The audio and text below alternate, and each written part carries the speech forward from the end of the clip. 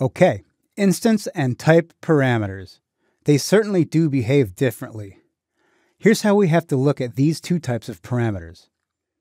An instance parameter will only affect the object or objects you currently have selected.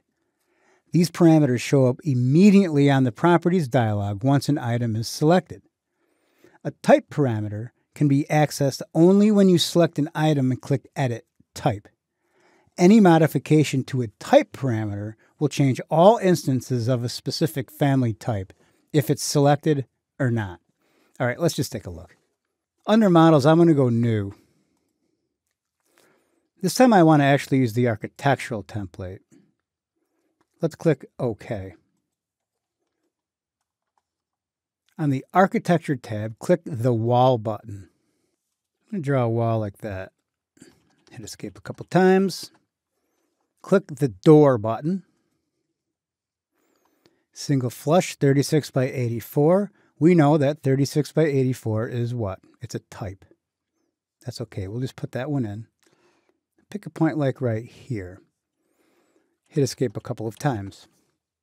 Now, select this door. Let's copy it. So now we have two single flush 36 by 84. Hit escape a couple times. Let's click the tag button. Uncheck leader. Pick that door, pick that door. Hit escape a few times. Okay. Select door number one. Single flush 36 by 84. But check out the properties right here. These properties, if altered, are only going to modify the door we have currently selected. Door number two will not be affected by it, even though it's identical. Single flush 36 by 84. Well, we know all doors are not identical. At least the mark of the door will be different. For example, if I scroll down in my instance parameters, notice that the mark is 1. That's only for this one door, so let's make it 101. Hit enter. And that door is 101. Door number 2 is not modified. We can add frame material, finish, frame type. All of these are purposely built in to be instance parameters.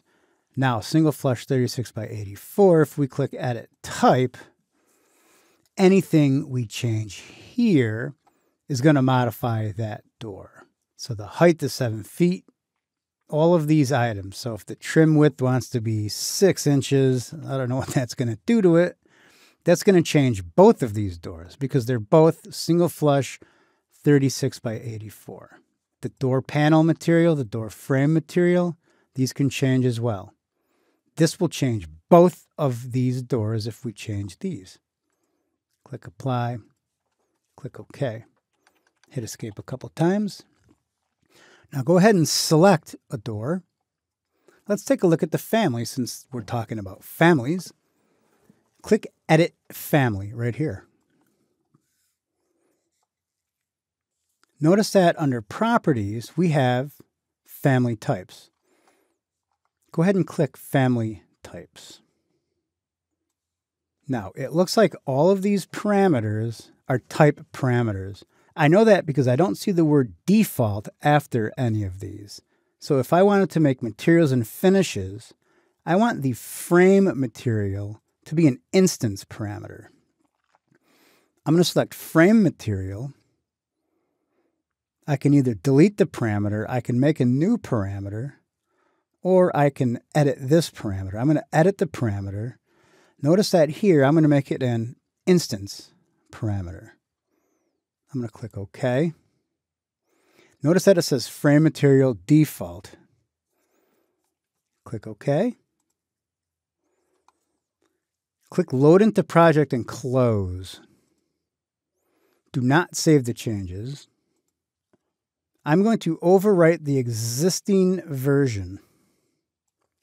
Now I'll select door 101 Notice that under materials and finishes, frame material, this door frame is only going to be for this door and this door alone. So there you go. Now you know the difference between a type and an instance parameter.